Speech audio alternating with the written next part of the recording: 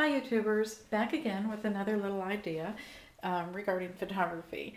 When we make our cards and our scrapbooking or whatever it is that we're creating, for the most part, well actually all the time, these are one of a kind items that we're not hanging on to. It's not artwork that we're putting on our wall or framing.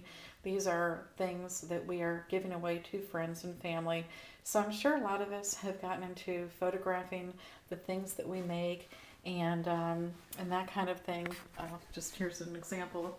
Oh, a couple of little cards that I made. My first little set of cards. So it's kind of neat. I think they're fun. And um, those actually didn't give to anybody because I was just fooling around. But I like to photograph my cards and I keep a folder on my laptop of the different things that I've made. Now one thing that I'm doing to keep organized as far as photography goes, I use an iPhone. I think that's kind of why I've gotten into the the whole crafting thing to begin with, not because of the iPhone, but indirectly because I am a Gigasource gadget nerdball like you can't believe. And when I first saw the Cricut, I'll show you my Cricuts. All right, this is my first little Cricut that I purchased on Black Friday, the day after Thanksgiving, for a steal at Michael's. And lo and behold, I had mentioned the pink Cricut inadvertently to my mom, who is just wonderful. And she, oh, look at this. There it is. Mm, my baby, my pink Cricut. I'm actually not using it right now because I, when I first used it, I spilled embossing powder, an entire jar, all over the 12 by 12 mat. Even went to the store and got some stuff to remove the, the tacky stuff to try to clean it but I haven't found anything to reglue it with since that'll work. And none of the local stores here where I live carry the 12 by 12 mats. I'm going to have to drive to another city where they have a Hobby Lobby, either that or get one over the mail. So fortunately, I can still use my other little Cricut here. It's my backup and it would be my portable one if I go home to visit my mom or up north to visit my dad. Well, the thing that I'm doing with my iPhone, iPhone, iPhone, here we go, oh, iPhone, gotta have that in a video somehow, is that I'm photographing rubber stamps as I collect them.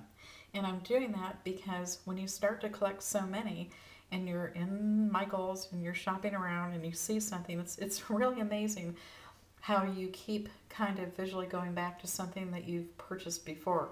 And oh, because you like it, of course. But, and then you wind up maybe purchasing it again because it's something you got months ago and you just didn't remember that you already have it, only to have to come home and have to return it. So here's my trick for photography.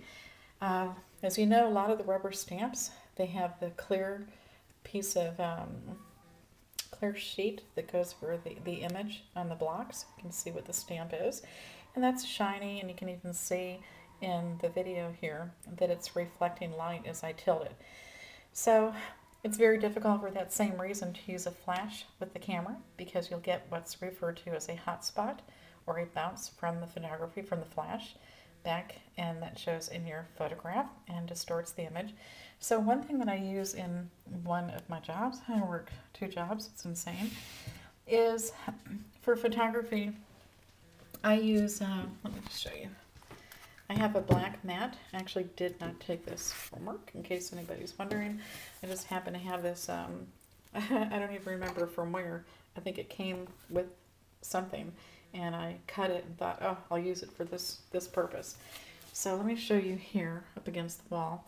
It's just a simple piece of um, black cloth, which this happens to be adhered to a piece of um, hard cardboard, which makes it convenient.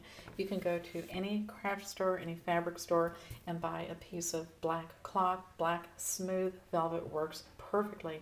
Actually, black velvet is the preferred material for this type of photography. So then I set my, my stamp here. I'm trying to do this so it won't reflect in the video. And then put it under some nice lighting where it's not going to cast a glare and then I will go ahead and use the camera with the, the setting so that the flash is not on. And then I take my picture.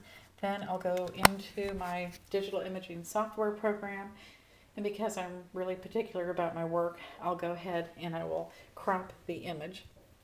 And then for the photographs on my iPhone, I have a category called rubber stamps, and it's really neat.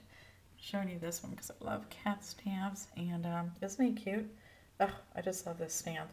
And when you color in the red heart and you use the glossy accents over the heart, it's just really cute. It just really makes it pop. It's really neat.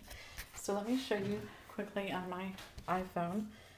Um, let me see if this will show here. Just to give you the idea. Oh, okay. Okay, so I hit rubber stamps and you can see them all pop up. I have no idea how well this is going to show or not. But see that? Here's a, oh, I know this is getting a glare. Sorry about that, you guys.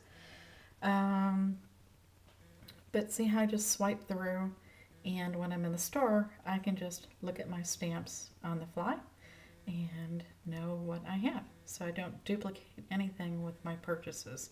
So I just think that's um, kind of a neat little technologically, technologically, technological, how do I want to say this?